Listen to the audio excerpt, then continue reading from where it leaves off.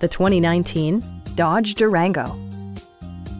Under the hood, you'll find a six-cylinder engine with more than 270 horsepower.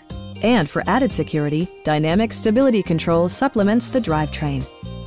All-wheel drive maintains traction at all four corners.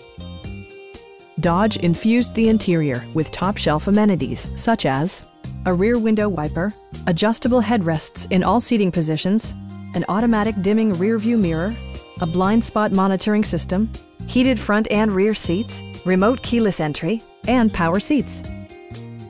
Features such as automatic climate control and leather upholstery prove that economical transportation does not need to be sparsely equipped.